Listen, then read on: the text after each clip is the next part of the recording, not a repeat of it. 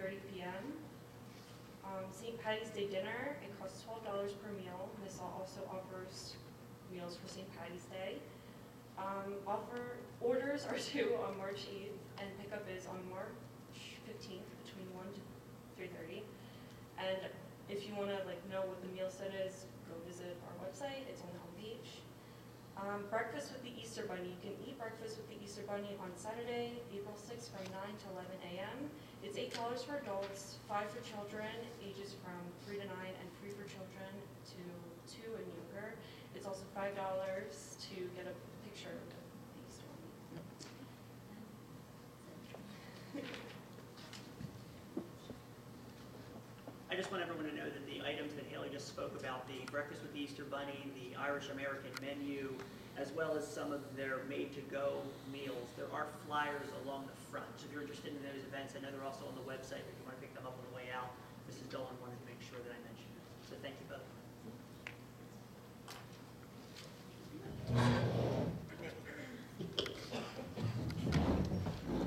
When is, I just wanted to know when, do you have a date for the blood drive?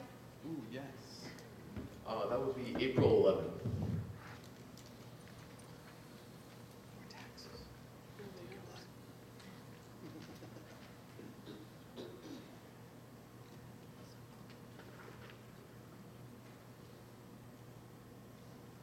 Okay, next up is the consent calendar.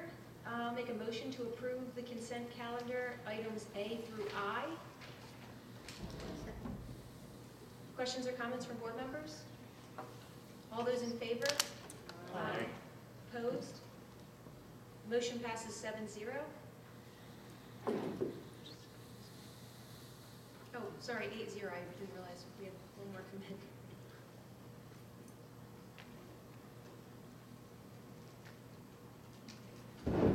And the committee reports, activities, Mrs. Walters? Okay, uh, the Activities Committee did not meet in the month of February, and our next meeting is scheduled for Monday, March 5th. Thank you. Curriculum, Mrs. Cullen? The curriculum committee also did not meet in February, and our next meeting is scheduled for Monday, March 4th. I I believe the 4th is a Monday.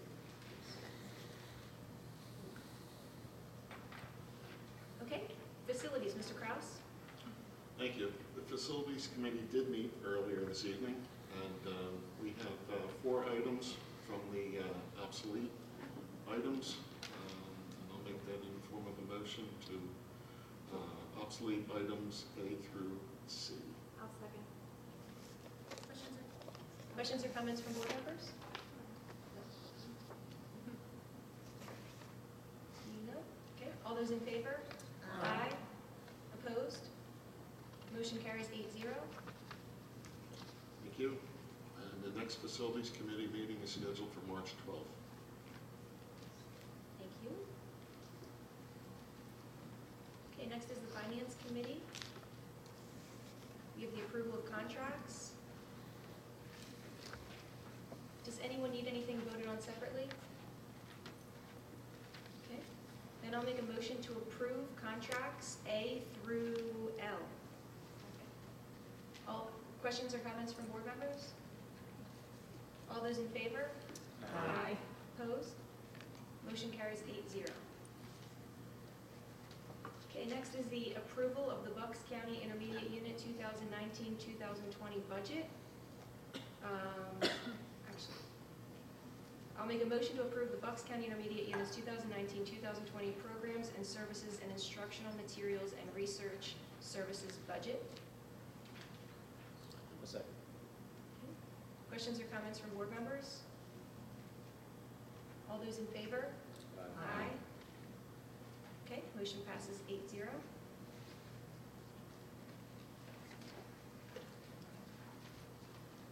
I'll make a motion to approve the 2019-2020 advertising of bids and RFPs A through H.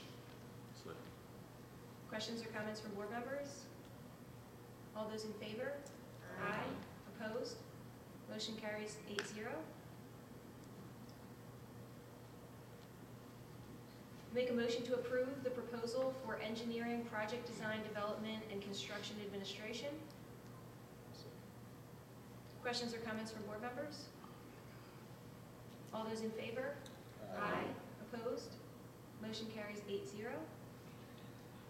The next Finance Committee meeting is scheduled for March 12th, 2019.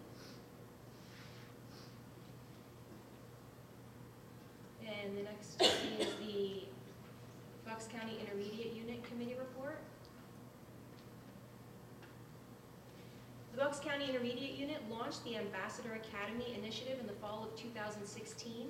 The purpose of the Ambassador Academy is to enhance the leadership abilities of a diverse group of Bucks County Intermediate staff members through the exploration of effective communication strategies and helpful tools that support professional growth. Members participated in five monthly sessions focused on the following topics: all about the IU, presentation skills, difficult conversations, body language, and emotional intelligence. These topics were used for small group presentations for board members at the last meeting, so we could see how these topics affect communication with others. The Bucks County Intermediate Unit is also the first school district or service, service agency in the country to receive meritorious budget awards from the Association of, of School Business Officials, International, for 25 consecutive years in a row. So the first one ever to get it for 25 years in a row. The, this award demonstrates the highest standards of budgeting, transparency, process, and best practices. It's a great testament to the exceptional work of the Bucks County Intermediate Unit's business staff. And just a couple of other things. Um, Dr. Deb Locke, our dir- the Director of Early Childhood Programs, had the privilege to be invited as a guest on Comcast Newsmakers. During an interview hosted by Comcast's Jill Horner, Dr. Locke talked about the importance of early childhood education for all children, regardless of income, developmental delays, or learning differences. You can watch the interview at comcastnewsmakers.com, uh, and you can do a search for the early childhood. Uh, we talked about in prior meetings, but uh, we didn't talk about the Percy one. There's sensory story time at the libraries, and um, there is one at Perkins. The, the first, the first three Mondays of every month, from 11:30 to 12:30, we have one in Percy, and the first three Tuesdays of every month, it's there's one in Quakertown from 10:30 to 11:30.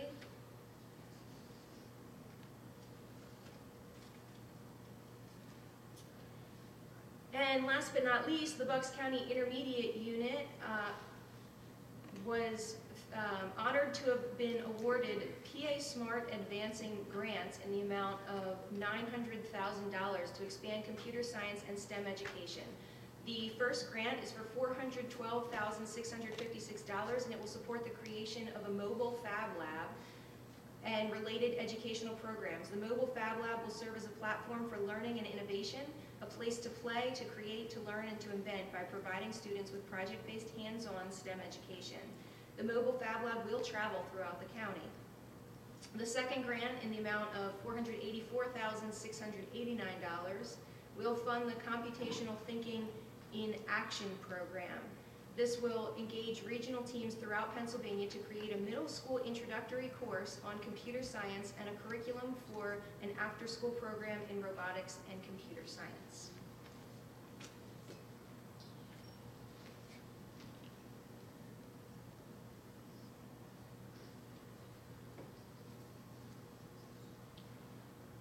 The next committee report is personnel. Dr. Yarnell? Thank you. Uh, We did have a Personnel Committee meeting uh, on February 4th. Uh, Some of the outcome of that meeting are two of the motions tonight, and plus, of course, the discussion about the school police officer position. There is also a motion on the agenda that was not discussed that night about considering tenure recommendations. So the first motion that came from that discussion is the one to approve a new Director of Transportation replace uh, Mr. Geiger, who's retiring at the end of the year. And, excuse me, I mo- move to approve Jessica Short as the new Director of Transportation. Her salary will be $83,718, and her effective date as this position is July 1, 2019.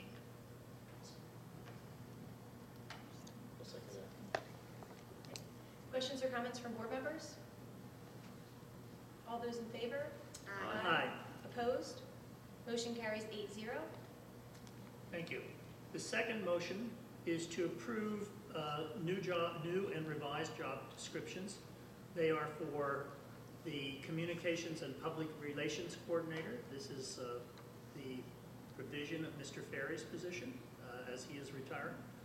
And then also for a K-12 uh, Supervisor of Mathematics, so- Science, Social Studies, and Reading and Language Arts. Um, And those positions are changed in terms of there are currently six supervisory positions in those four disciplines. Uh, That would be reduced under the proposal the administration has made to four, the, re- the uh, consequence revi- revision of the um, job descriptions to fit the new positions. So I make that in the form of a motion. Second. Questions or comments from board members? As I mentioned at the committee meeting, I am not going to support this. I will abstain from this motion, uh, not because of the public relations part, but because of the supervisor part. The- I know that this is part of the upcoming budget discussion. I would prefer to um, wait until the discussion has happened and to see whether this uh, proposal is accepted. I personally am not in favor of the proposal as uh, provided, and so I will abstain on this particular motion tonight. Any other comments or questions from board members? All those in favor? Aye. Opposed? Abstentions? And I abstain. Okay, the motion passes eight zero one, Seven zero one. seven zero one, sorry. Thank you. The third issue is the discussion on the school police officer position. Specifically tonight, there is also a job description um, for that position. Uh, That would be both the police, school police officer, the SPOs, so-called, slash director of security. That would be one of the new, two new positions. The other would be just the school police officer, SPO. The job description is uh, something that was discussed at the committee meeting is contained here. And um, I move that this uh, job des- description be accepted. Dr. Yellow, if, if it's appropriate, I would ask that we not move on the job description and just hold the discussion. And that's Uh, fine with me. I think, I, I think it was confusing because they're not usually posted. I just wanted them publicly so people could see the job description. But I, I think that we ought to have the discussion, and then if we need to move on the job description, we can do that next month, if, if you're comfortable. Uh, I would have abstained for Okay. the same reason as the previous one, so I'm more than comfortable with that. Is there anything you want to say? I think you should probably start. Sure. Thank you. Uh, First, I'm going to ask Mr. Miller, our solicitor, uh, just to provide some of the legal background, um, as there were some questions regarding qualifications and training, and who are these people, and who can you hire, and what do they have to do annually, and and those types of requirements. So since th- those are all specified in the law, which is primarily Act 44, I'm going to ask Mr. Miller to start and give us an overview of some of those things. Thank you, Mr. Miller. Thank you, Dr. Bolton, and um, let me also start by thanking the individuals in the audience who previously spoke. Um, uh, Many of you made uh, uh, cogent, clear points. Um, All of you were respectful, and um, because I get to be the parliamentarian, it's no fun being the parliamentarian. Thank you so much staying within the timeframes. Um, Mr. O'Connor and I I believe some other uh, individuals, I wrote their names down, uh, raised questions, I think reasonable questions about um, who can do what under Act 44. Um, And so um, let me try to um, uh, provide some context for everyone. Um, I may or may not answer everyone's questions, but let me do my, my very best. Um, With the proviso, with the understanding for everyone um, that the most recent guidance um, uh, for Act 44 was released by PDE, uh, I think Friday. Um, So um, it's very much a fluid um, situation. Uh, But essentially, the world is divided into uh, three things for purposes of security at schools. There are school resource officers, which many people have mentioned, and Um, That's pretty clear and defined in and of itself. That's a law enforcement officer who is employed by a municipality, um, who is co-located in a school and operates uh, by virtue of their existing law enforcement powers um, uh, through a cooperative arrangement with a uh, school district. That's the school resource officer. There is a school police officer provided for in Act 44. A school police officer is an employee of the school district who has certain um, uh, powers uh, provided to uh, him or her um, uh, through court order. Um, And then the third category are school security guards. According to the guidance provided by the Department of Education, guidance which we've briefed the board on previously, school security guards are not able to be armed. Um, They, they are not permitted to carry weapons uh, under uh, the provisions of Act 44. Uh, They may be school police officers if they're hired into that capacity, but they are not by virtue of uh, their position as uh, security guards permitted to carry weapons. Um, uh, Let me go back to the category which seems to have um, attracted the most comment. Um, That's school police officer. School police officer under the statute, I'm sorry, I have my cheat sheet, and I also apologize, my daughters put that sticker on my, on the back of my uh, computer, and they- they're all in trouble for doing that. Um, But uh, th- that is a uh, law enforcement officer who's employed by a school district. Um, And they are, they can, they come in kind of two um, circumstances. One is either an employee of the school uh, entity uh, directly, um, or um, a school entity may uh, contract with retired federal agents or retired state, uh, municipal, or military police officers or sheriffs to provide um, services. Those individuals um, who are um, uh, uh, the independent contractors must undergo what's known as MOPEC training. That's Municipal Police Officers Education and Training Commission, located in Hershey, Pennsylvania, across from Hershey Park, in case you're wondering. Um, And they are the entity which license municipal police officers across the state. They, uh, they license what's known as Act 120 training. It is the card which allows someone to act as a municipal police officer and gives them police powers. Um, uh, And uh, anybody who um, is hired as an independent contractor has to um, uh, uh, undergo annual training uh, by MOPEC. Um, Any individual who is hired by an SPO must take an oath, must wear a shield, et cetera, et cetera, et cetera, and upon appropriate motion to a judge of the Court of Common Pleas within the county, within the school district is located. Um, A school police officer has uh, the power, if the judge signs off on it, and judge, lots of judges will decide what they want to do, gives uh, the SPO the power to arrest, uh, the authority to issue citations, the authority to detain students until the arrival of local uh, law enforcement or any combination uh, therein. Um, A school police officer under the, under Act 44 um, has the power to enforce good order in school buildings, school buses, school grounds, et cetera, et cetera. Um, And if authorized by the court, in other words, if signed off by the court, um, have the powers exercised by uh, the authority of law or ordinance of the police of the municipality, um, and to issue summary citations. In other words, they have the ability to um, act as police officers on school grounds. That's where their jurisdiction um, is, uh, is enforceable.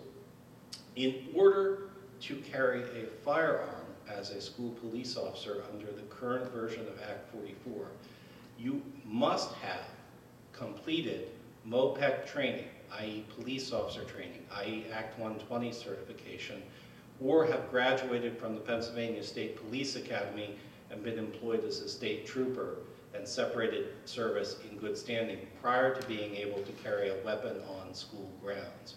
And so, um, to the question, I think the, the reasonable question raised by many people, um, are there standards? There are certainly standards, and they are enumerated in the law, which we are bound um, to follow. Uh, Will those standards stay static? I, well, I highly doubt it. I mean, I think PD will continue to provide guidance on, on that circumstance. But uh, MOPEC training um, uh, does have a specific um, firearms training component, um, as many individuals have uh, remarked upon. And so um, uh, the,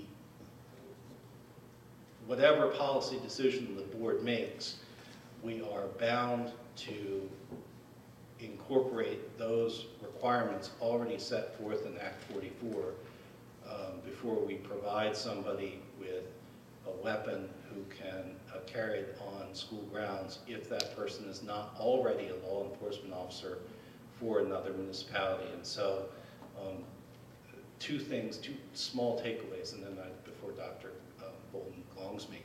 Um, uh, Two, I think two uh, quick takeaways. One is, um, anybody who is going to exercise police powers on school property must be approved by a judge of the Court of Common Pleas before they do that. There is no magical wand which gets waved and converts somebody into a school police officer absent court approval. Secondly, and more uh, importantly, any person authorized to carry a firearm has to undergo the appropriate amount of training already identified in the law and established either by the- the Municipal Police Officers Education and Training um, Commission or the State Police Academy, both of which are are- are relatively rigorous training. Dr. Bolton, I yield my time. Thanks, Mr. Miller, I do appreciate that. Just one uh, clarifying question, and you may have said it, I may have missed it. So the continuing training requirements for a school police officer versus a Pennridge Regional Police Officer, there would be the same requirements of annual recertifications, whatever the trainings and requirements are for a police officer would be the same as for a school police officer. While the- neither PDE or Act 44 is definitive on that point, it would be my recommendation as solicitor that a person who is authorized to carry a gun um, will have to go to the two-year annual recertifications. Quite frankly, I think it ought to be um, yearly or six months, um, uh, because of course, uh, uh, it is a skill which must be practiced in order to be done well. So, Thank you for that clarification. And I do just want to clarify from a training standpoint, obviously, sorry about that, I do want to clarify from a training standpoint that obviously there is a difference between a community police officer and a police officer that would be in schools in terms of the- the basic clientele and the people that they will be interacting with. So in addition to police officer trainings, things like guns and firearms and restraints and all the things that police officer would would be trained in, we also have budgeted an amount for training for things that are specific to school resource officers or school police officers. There are regular trainings that are offered uh, locally. Uh, There was one in Doylestown about three months ago that was a school uh, resource officer, school police officer training process that was a two-day training for them to talk about things specific to school settings um, that would be different. As well as we're going to provide educational training from a standpoint of what's the best way to de-escalate a 16-year-old, because that may be very different from de-escalating a 30-year-old um, someplace in the city uh, things like that. So those trainings will be part of what we will do, and actually, we budgeted money to train all of our security guards in those things. Um, But obviously, the school police officers, if approved, would have additional trainings beyond that because of their responsibilities. So I just wanted, I wanted to clarify that, that from a training standpoint. I also want to thank the committee members who came out and and the, and the um, ones who have emailed the board or myself um, or called us earlier. I do appreciate that. There really were two main purposes to put this on the agenda tonight. One was to hear from the community and to give us time to interact with this material, give people a chance to read the job description, hear from each other, and also hear uh, from the board, but also provide some information uh, that we need to base on the history as well as the emails I've received and the comments from tonight. So I want to do that for you. First and foremost, I want to say very clearly and, and, and very uh, loudly at the beginning that the number one thing we do is to care for the psychological and the physical safety of our students that are staying. There is not one thing that we do or choose not to do that will fix either of those things. We need to continually and will continue to have the conversations about how do we best address the psychological safety as well as the physical safety of all of our students and all of our staff members. So I don't want to lose in this conversation that what we are talking about is much larger than one issue, and we need to make sure that we don't lose focus of that. I am personally proud, as I've been in Penn Ridge for seven months and have studied what has happened with this, to be able to enumerate multiple things in both categories because they are important to this board, they are important to our teachers, they are important to our parents. And so it's vital that we do that. From a psychological standpoint, we have designed curriculum specific for mental health that we deliver to students at key grade levels, right? We have increased the number of social workers in the last two years that are available to our students. We have, um, are in the process of approving a guidance curriculum that will present some of these topics K through 12 to all of our students that is required by law. We've uh, created threat assessment teams. The comprehensive plan has three goals. One of them is around the mental and uh, psychological uh, wellness of our students. And so there are multiple steps within the comprehensive plan that deals with that.